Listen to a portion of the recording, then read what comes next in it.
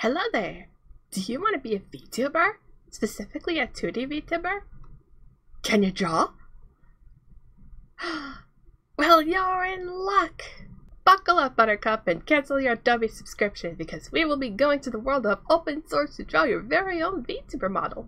I have an outline that we will be going through step by step.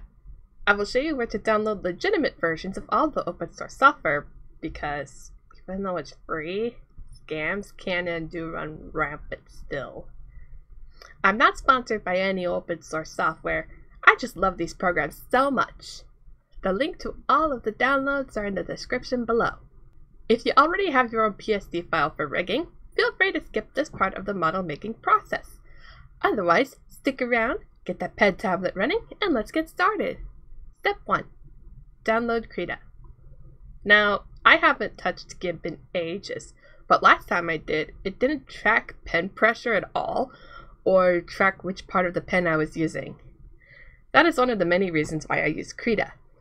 It is actively maintained, has frame-by-frame -frame animations, vector tools, PSD exporting as an option, and most importantly, layers! Like onions! and layer opacity, and a reference tool, and grouping layers, RGB and CMYK, and a whole palette that you can customize. And it can work with my pen tablet perfectly. Did I mention the brushes? I didn't mention the brushes, did I? Watercolor, paints, pixels, pencils. Don't just download this for your avatar. Download it for your own art projects. Before we begin putting pen to canvas, let's talk about canvas size. Canvas size matters in VTubing. A good, huge canvas size will make even the most zoomed in instances still look crisp and not super pixely. This is why I recommend at least 2000 by 2000. Not too big for your RAM, not too small for tracking and zooming, just right for making pictures in our rigging app. I will be making my model today at 2400 by 2400 and it will be another version of my current design. And it'll be an Eno chibi. Uh, uh, uh, uh, get it, get it, get it, get it. Alright, I'll see myself out. Another thing about your model is design. Whether elaborate or simple, make sure to have a reference of some sort. Maybe you made a full body PNG tuber avatar before. Great! Use it as a reference if you don't want to change it. There is a reference icon in the Tools section, and in Tool Settings, you can choose your reference, whether a sheet or a transparent PNG. Move to your desired spot, and we're ready to go. Step 2. Sketch Layer. One cool thing about Krita I didn't find out until too late was a symmetry button. There is both vertical and horizontal symmetry. If you want your avatar to have the usual standing in front and looking at the viewers, use the horizontal symmetry button to help draw. Note that this only works out of the box for .kra files for some reason. You could drag the symmetry line, but I don't recommend it right now until we get to the mount.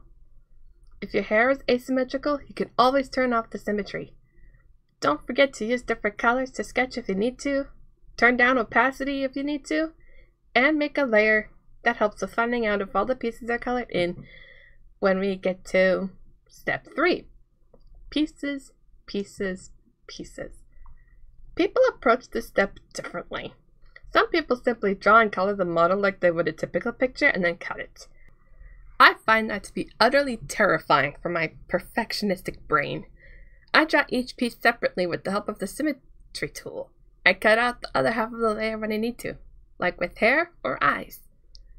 So, depending on how complex your model is, either method will give you tons of work. But say it's a simple or an Eno chibi. You have saved me the hassle of piecing each individual strand of hair. Nice! What you'll want to do for symmetry's sake is create layers for the line art and coloring separately. When you line, color, and shade, merge the layers together, though you could also have the shading be a separate layer. I don't because I don't shade my models except for the hair. Use the box selection tool to select half the hair, cut with Ctrl X, paste with Ctrl V, rename, and repeat for however many symmetrical strands of hair you have except for the back if it's down. You can leave that part alone. It doesn't even have to be cut if you don't want it to be cut a bunch. For the head shape, I find that drawing the lines and coloring in a separate layer to be more convenient, but it's up to you.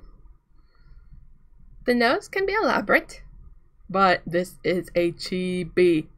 A small line will suffice. The neck will be its own piece. Piece the ears too. I always forget the ears. Eyes. Oh golly, the eyes. We will be doing plenty with eyes, so be sure to follow along carefully. Turn on symmetry. Draw the top and the bottom of the eye like you would do hair, and separate them into pieces.